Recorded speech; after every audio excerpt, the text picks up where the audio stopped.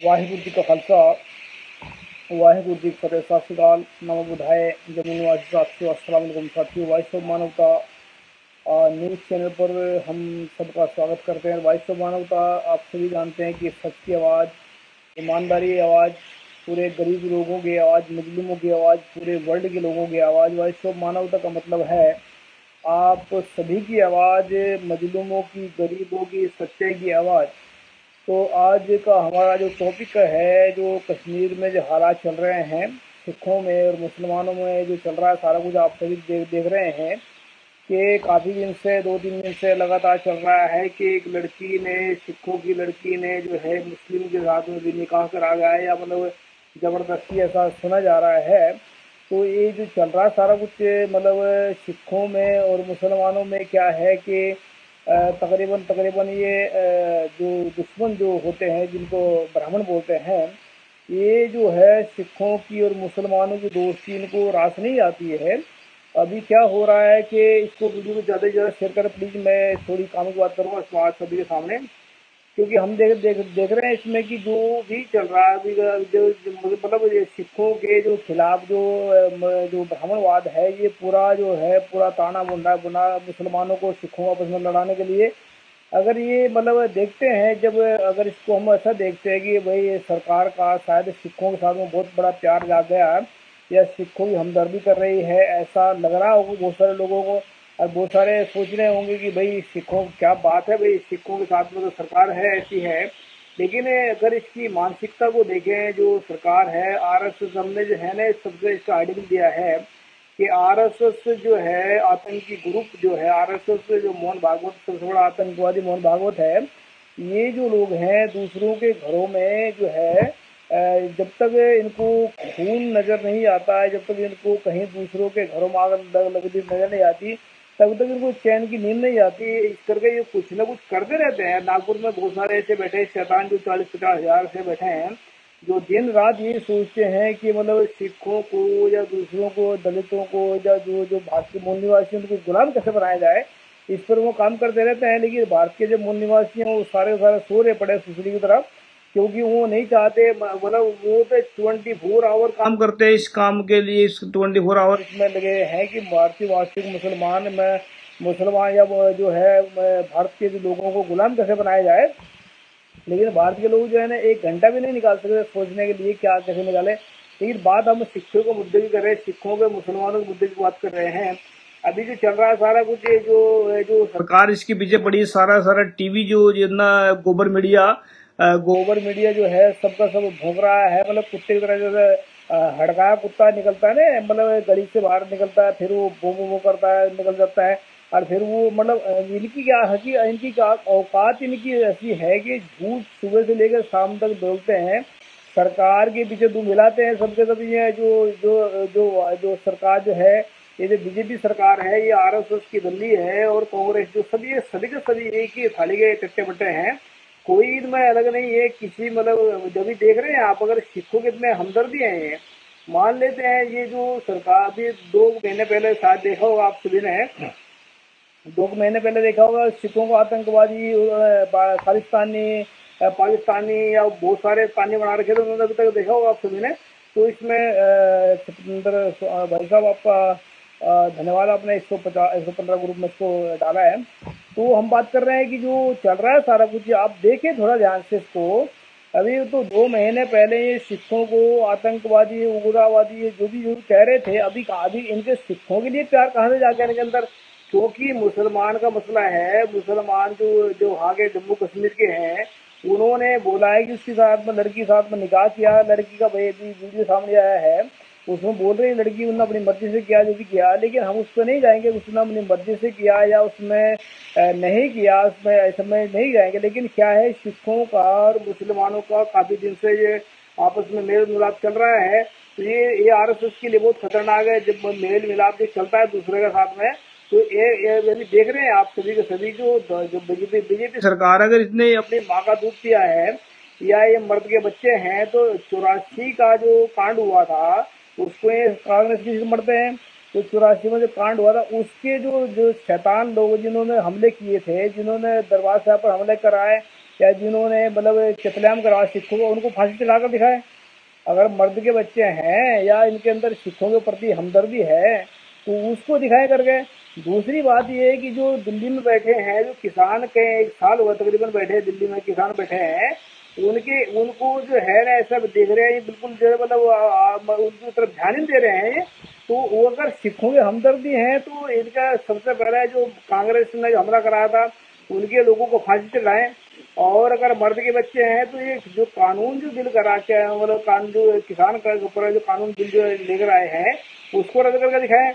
अगर मर्द के बच्चे मुसलमानों के प्रति क्यों उनके अंदर मर्दानगी गई है मुसलमानों के प्रति नहीं जागी है, सिर्फ़ सिखों को और आपस में मुसलमानों को आपस में लड़वाना चाहते हैं, ताकि सिखों में और आपस में मुसलमानों में लड़ करके इनमें आपस खून खराबा हो और खून को देख कर फिर आर एस एस बहुत खुश होते हैं। मोहन भागवत हराम का एक ये आतंकवादी नंबर वन हरा जो मोहन भागवत है, ये ये सबसे बड़ा जो है आतंकवादी है पूरा, पूरे वर्ल्ड के अंदर। ये सब देखते हैं कि खुश होता है उसको, लेकिन ये क्या है कि हम सिखों से तकरीबन इसको थोड़ा सिख भी देखें। भाई जो सिखों का और मुसलमानों का जो पाँच साल पाँच हज़ार साल का जो इतिहास चला आ रहा है, गुरु नानक साहब के साथ में भाई मर्दाना जी रहे हैं। गुरु नानक, गुरु अर्जन साहब जी ने भाई जो है, साइन नियम से, जो हरमंदर साहब की नींव रखवाई। और गुरु गोविंद सिंह जी के साथ में जो है, पीर बुद्धू शाह रहे हैं, उन्होंने जंग में साथ दिया उनका। और महाराजा रणजीत सिंह के साथ भी जो रहे मुसलमान भी रहे उनके साथ में, उनके मंत्री भी रहे हैं मुसलमान। तो इतना मतलब मुसलमान जो है ना जो मुगल थे, पहले वो अलग थे मुसलमान अलग थे, लेकिन जो असली जो दुश्मन है भारत का जिसको ब्राह्मण बोलते हैं इस ब्राह्मण ने सबका जिन आराम किया। लेकिन याद रखे इस बात को कि इसको पता है कि मुसलमान और सिख जो है ना, बहुत कट्टरवादी मतलब वो है कि धार्मिक भी इंसान है। जब ये खड़े होंगे तो जंजल आ जाएगा, जिधर भी आएगा। लेकिन याद रखे जो सिख जो, सिखों के सामने पूरे भारत के लिए ये जो ब्राह्मण है, ये पूरे भारत के लिए बहुत खतरनाक चीज़ है इनके क्योंकि इन्होंने जिनकी वजह से पूरा भारत आज गुलाम है, पूरा भारत आज बिक गया है, पूरा भारत इन्होंने बर्बाद कर रख दिया है, कहीं लॉकडाउन लगा करके, कहीं कुछ ना कुछ इनका चलता रहता है सारा कुछ ये। अभी जो चल रहा है जो जो भी कर रहे हैं, ये सिखों बहुत हमदर्दी बन रहे हैं। अभी जो वहाँ पर गया, क्या नाम ये जो मनजिंदर सिंह सिरसा, ये सिरसा पे भी दो महीने पहले देखा होगा आप सभी ने इसका बयान। अभी दिल्ली में इतना चीख रहा है, ये किसानों के हक में चीख रहा है, जो बोल रहा था, अभी वहाँ पर जाकर क्या करा? इसका मतलब क्या है? रहा है कि मतलब सबका सब जो है ना, ये सरकार जो है, सरकार इसके पीछे है, क्योंकि बिना सरकार के पीछे आरएसएस है। आरएसएस जो पत्ते खेलती है मतलब आरएसएस की मर्ज़ी के बिना बीजेपी क्या, कांग्रेस क्या, और जितने भी दिन चल रहे हैं, ये कोई भी जवान खोलने के लिए तैयार नहीं होता। मतलब वहाँ से नागपुर से उड़ आता है तब ये जवान खोलते हैं। तो मैं सिखों को और जो है मुसलमानों को खास कर रिक्वेस्ट करता हूँ कि ये अंदरूनी मामला है हमारा सिखों का और मुसलमानों का। इसको इसको बैठ कर के सुलझाएँ, अपने घर में बैठ कर सुलझाएँ। धार्मिक मामला भी है और अंदरूनी मामला है तो सरकार को टांगे डालनी चाहिए। सरकार की औकात नहीं है सिखों के इसमें बीच में अगर के मतलब ऐसे मुसलमानों के बीच में अगर टांग डाए फालतू की, क्योंकि इनकी औकात तो सिर्फ़ मांगने खाने की है और भीख मांगने वाले लोग हैं इनके बस का और तो कुछ है नहीं है। सिर्फ़ लड़ाइयाँ करवानी इन्होंने, दंगे करवाने आर एस एस में जो दंगे करवाते हैं तो मैं खास करके रिक्वेस्ट करता हूँ सभी से मुसलमानों से भी रिक्वेस्ट करता हूँ। ये जो अंदरूनी मामला है, इसको थोड़ा सा सोच समझ के रखें, क्योंकि मामले थोड़ा ये धार, जब धर्म से जुड़ जाते हैं ना, मामले फिर बहुत खतरनाक बन जाते हैं। तो खतरनाक मामलों को ना बनने दे सिखों को और मुसलमानों को आपस में बैठ करके सुलझाएँ और इसको सरकार को जो है ना, लात मार वाले से भला भगाए क्योंकि सरकार जो है, ये दंगे कराना चाहती है भारत में। जो आरएसएस है, ये दंगे, इसको जब तक खून नज़र नहीं आता था हुआ, तब तक तो उसको नींद आती। इससे बहुत दंगे कराए, पहले भी अभी मतलब केजरीवाल ने खुद बताया कि पैंसठ हज़ार इनने दंगे करा रखे आर एस एस में जो भी है। तो हम चाहते हैं कि अमन शांति रहे। हाँ एक बात याद रखिए आप। भारत में अगर शांति लाना चाहते हैं, भारत में अगर मतलब भारत में जो है सत्य का राज लाना चाहते हैं तो हमारा साध्य हम देश में हम बनाना चाहते हैं वो राष्ट्र और बेगमपुरा। ये जो ब्राह्मण है, ये ब्राह्मण राष्ट्र बनाना चाहते हैं। ब्राह्मण राष्ट्र के पीछे मतलब हिंदू राष्ट्र बोलते हैं। ये ब्राह्मण जो कभी सामने नहीं आकर के लड़ते, किसी साथ में पीछे लुक कर लड़ते हैं। जैसे कि पहले मुगलों के दरबार में ये मतलब मुगलों के दरबार में मंत्री बने रहते थे। उस वक्त परम इनकी, इनका करेक्टर सिर्फ़ एक दो करेक्टर में ध्यान मतलब दो बातों में इनका करेक्टर सामने आता है। या तो पैर में बैठकर राज करते हैं, या फिर सिर के ऊपर बैठकर राज करते हैं। तो मतलब पैरों में मुगलों के साथ में पैरों में बैठे रहे और फिर अंग्रेज़ों के साथ में उनकी चापलूसी करते रहे। और इनकी एक, इनकी औकात इतनी है कि ये सिर्फ़ चापलूसी करते हैं लोग भी जब तक इनके पास में राज नहीं होता। जब राज आते हैं, फिर जुल्म करते हैं ये ये उल्टा करते हैं काम। अभी क्या है कि बाहर विदेशों में इनकी औकात जो है ना, ये दो कोड़ी की रही है। बाहर विदेशों में इन्होंने चापलूसी कर कर के चापलूसी कर कर के अपनी औकात इतनी खराब कर दी है कि दो कोड़ी की औकात नहीं रही इनकी क्योंकि जब आदमी बाहर जो आदमी देखता है ना आदमी चापलूसी करता है किसी फालतू तो दूसरा आदमी क्या समझता है, ये बेवकूफ़ आदमी है, पागल है, इसको पता नहीं ये मतलब चमचा मतलब अंदर से डरा हुआ इंसान है, क्या इसकी मतलब रक्षा करने?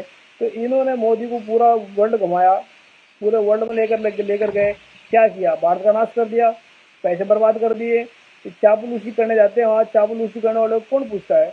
तो चापलूसी करने वाले लोग कभी कामयाब नहीं हो सकते, धोखा दे सकते हैं देश को। मोदी ने इतना बड़ा धोखा दिया, देश को इतना किसी ने मिल दिया लेकिन मोदी तो एक चमचा है, इसमें इससे पीछे बैठे, जो आरएसएस बैठे हैं, आरएसएस वाले जो हैं, ये ये सबसे बड़ा जो आतंकी ग्रुप है, ये सबको पूरा बर्बाद करना चाहता है भारत को। आरएसएस जो है ना, जब तक तो ये खत्म नहीं होगा भारत के यहाँ से, तब तक तो यहाँ पर मतलब शांति नहीं आएगी। तो हमने पहले भी कहा था कि अगर कोई भी कहीं पर भी दंगे होते हैं तो जहाँ पर भी आरएसएस के दफ्तर हैं, वहाँ पर धरने दे बैठ करके वहाँ पर उनको बंद कराएँ तो हम आने वाले वक्त में बेगमपुरा राष्ट्र खड़ा करना चाहते हैं, जो सच्चे लोगों का राष्ट्र होगा, राष्ट्र हो बेगमपुरा, जहाँ पर गुरुओं का राज होगा, मोहम्मद साहब का राज होगा जीसस का राज होगा, गौतम बुद्ध का राज होगा, सच्चे का राज होगा, ऐसा राज लाना चाहते हैं हम तो आप हमें साथ दें। लेकिन याद रखिए, मुसलमान और सिख फ़िलहाल जो है ना, बहुत बड़ी ताकत है। जो इनके लिए सरदर्दी है, ब्राह्मणों के लिए, मनवादियों के लिए सरदर्दी है तो आपस में लड़ाना चाहते हैं तो इसमें हम चाहेंगे कि सिख और मुसलमान मिल करके इस फैसले को थोड़ा मामला है, इसको थोड़ा ठीक करें। और इनके जो बहकावों में इनकी कोई औकात नहीं है, सिखों अगर उसमें जो मतलब मुसलमानों के बीच में कोई अपना टांगड़ा है फालतू की, इनकी औकात को, इनकी औकात में ये अपनी जगह रखे औकात जो है, लेकिन याद रखे, सिख और मुसलमान प्यार से ज़िंदगी जिए और प्यार से रहें। यही मेरी, यही मनवादियों के लिए खटकती है और अपने दोस्ती पाँच हज़ार साल से चली आ रही है।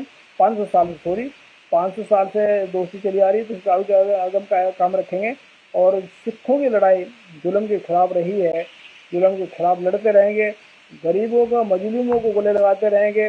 गुरु गोविंद सिंह जी ने कहा है, खालसा सोए जो निर्धन को पाले खालसा सोए जो दुष्ट को गाले तो खालसा वही है जो निर्धनों को, जो मतलब दुष्टों को उगालने वाला है, दुष्टों को ख़त्म करने वाला है। तो खालसा राज या बेगमपुरा राज, या बेगमपुरा राज का मतलब है जहाँ पर गम हो गई। बेगम का मतलब है जहाँ पर बिल्कुल एन शांति, ही शांति, जहाँ पर सुख शांति होगी। सच्चाई का राज कायम करना चाहते हैं। तो सच्चाई का राज आप और हम मिलकर कामयाब करेंगे। इसको ज़रूर बनाएँगे इसको भारत को हम सोने की चिड़िया नहीं सोने का बाज बनाएँगे ताकि कोई विदेशी परिंदा आकर के यहाँ पर न फड़फड़ा सके। थैंक यू सब जुड़ने के लिए और उम्मीद करते हैं आप सभी के सभी इसमें हमारा साथ देंगे। और याद रखें, सिखों को मैं दोबारा फिर विनती करता हूँ, सिखों को मुसलमानों को ये अंदरूनी मामला है, इसको थोड़ा घर में बैठ कर फुल जाएँ और इसको निपटारा करें ताकि ये आने वाले वक्त में कोई इस तरह का आर एस एस जो पंजे पास खड़ा कर दे। क्योंकि आर एस एस चाहती है सिखों को आपस में लड़वाना मुसलमानों को तो उसके बहाना कुछ भी कर सकती है वो, जहाँ पर ये आर एस एस के जो ऐसे जो लोग हैं जहाँ पर अगर मुसलमानों को मारना होता है, उनको तो हिंदू को टिक्के लगाए जाते हैं। अगर जो हिंदुओं को मारना है तो उनको टोपी पहना देते हैं। अगर किसी और को मारना तो ये सब इनके पास में जो नकली, ये जो एक्स्ट्रा बने बैठे हैं, ऐसा सब करते रहते हैं। तो ये जहाँ भी कहीं तंगे होते हैं भारत में कहीं भी तो ये आर एस एस ही कराती है। हम ये गारंटी साथ में नहीं है वो पूरी उम्मीद के साथ में कहते हैं इसको, क्योंकि इसके बिना और कोई ऐसा संगठन है ही नहीं है जो दंगे कराता है। तो सिर्फ़ यही कराता है तो सावधान है और समझ करें बस अगर अपनी जान बचानी है तो दो दो फुट के डंडे अपने सेफ्टी के लिए अपने पास रखें और ताकि ये पुलिस वाले और मिलिट्री वाले हम कहना चाहते हैं, क्यों चमचागिरी कर रहे हो? क्यों अपने जो है, अपने जो आपकी जो औकात है, जो पुलिस वालों की, मिलिट्री वालों की, आपकी खुद की मतलब हैसियत है जो है, वो पढ़ाई की लिखाई की संविधान के करके है। चमचागिरी करेंगे तो ज़मीन में नाम गिर जाएँगे। अगर ईमानदारी से काम करेंगे तो आसमान तक चमक जाएँगे। तो मैं उम्मीद करता हूँ, पुलिस वाले मिलिट्री वाले सभी सच्चाई का साथ देंगे और हमारा साथ दें। हम बेगमपुरा राज बनाना चाहते सत्य का राज करना चाहते। थैंक यू सबका और खास करके फिर मैं कर, विनती करता हूँ मुसलमानों को, सिखों को। अंदरूनी मामला है, धार्मिक मामला है, इसको घर में बैठ कर छोड़ जाए और इसको ख़त्म करें। Thank you